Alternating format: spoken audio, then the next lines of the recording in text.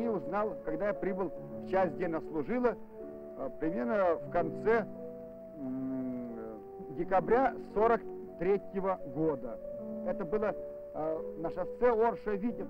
Елена Ковальчук шла с подотканными полами юбки. На шее висело у нее два автомата, ноги прострелены, наскоро забинтованы бинтом, кровоточат.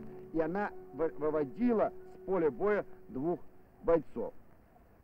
В июле 44 -го года, примерно 8 или 10 июля, мы подошли сюда вот на восточных берегах Немана в этот лес.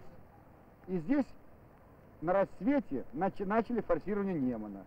Ну, наступле, наступление шло здесь вот по этим высотам. Ну, в это время у меня наблюдательный пункт находился гораздо левее, тут метров 600-800 слева сюда. Елена Ковальчук находилась непрерывно в цепях наступающих бойцов, оказывала помощь раненым. У Лены Ковальчук можно было найти, и у нее была фляжка на боку всегда, и со спиртным, и с водой. Кому что? Она могла и приласкать, могла и старшего больше, старого по возрасту, и пожурить. И вот в разгар боя она узнала о том, что тяжело ранен командир полка, подполковник Емельянов.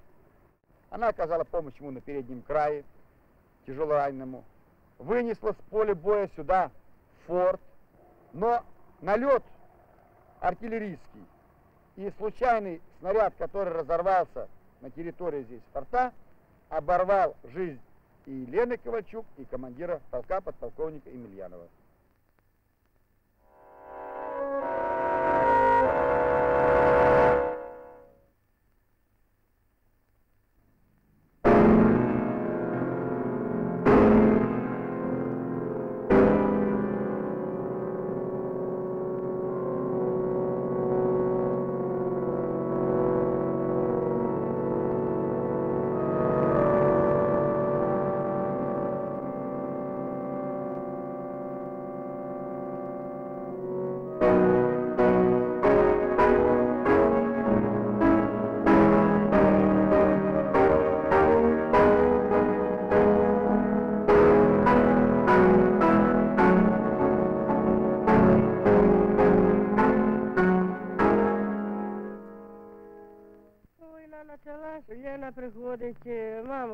Я в'їжджатиму. Куди?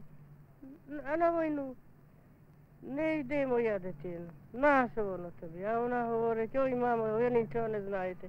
Якщо я тут остануся, прийдуть німці. Заберуть, е, забиратимуть жінчин молодих і дівчинок, і мене заберуть. Ну, кажу, йди як хочеш. Приходить обратно вже обнебрование я получила. Получила, уже в станях прийшла, і в, эти, в гимнастерки, і в хуражки, і з сумкою прямо прийшла. І пішла.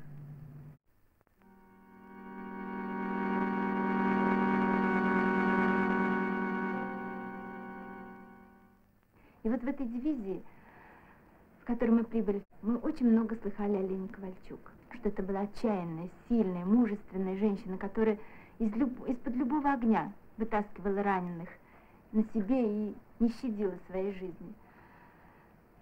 Вспоминаю я такой бой. Это было под Вереей. Очень много было раненых, убитых. И вот среди этого грома, шума, снарядов видно было эту фигурку, которая сновала от одного раненого к другому, быстро перевязывала, стаскивала их в одно место, все. И вот я вспоминаю потом позже, когда я ее уже больше узнала, как она к раненым относилась. Она как к детям к ним относилась. Всегда уговаривала, всегда говорила, что вот еще минуточку, подожди, все будет хорошо.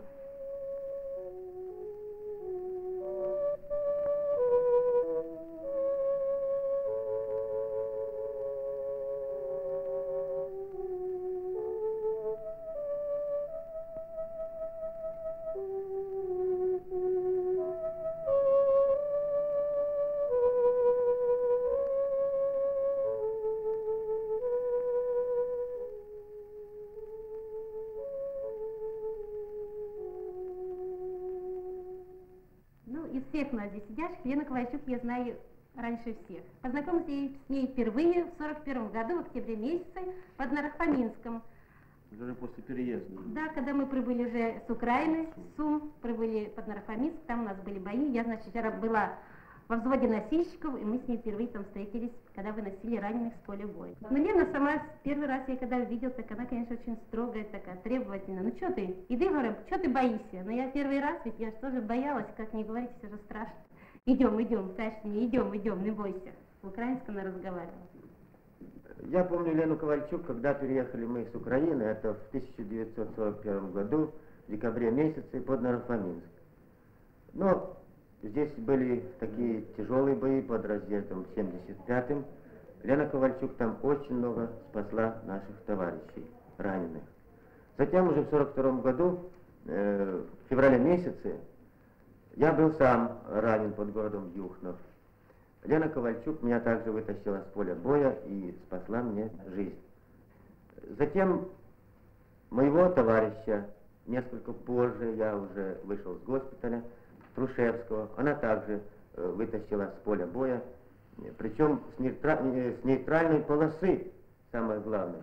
Сейчас он, он тоже жив. Тоже жив, работает в Москве преподавателем в среднем учебном заведении.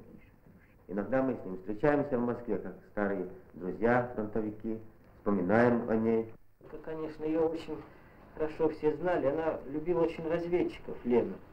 И все время старалась быть с ним. Если ты помнишь, даже получился такой случай потери с немецкими выселками, на нейтральной полосе ввязался бой, ну, обнаружена была разведка. И одного разведчика там ранила. И, собственно, она до вечера там сидела, потому что перейти уже нельзя было в эту воронке. И только вечером она уже его вытащила, эту разведчика. Если бы она не пошла в эту разведку, этот человек погиб бы. И я благодаря ее живой остался. Потом мы с ней как бы стали такими друзьями. Она мне все время называла сынком. На марше сколько раз встречаюсь. И перед самой ее гибелью, перед Алитусом, я ее тоже видел.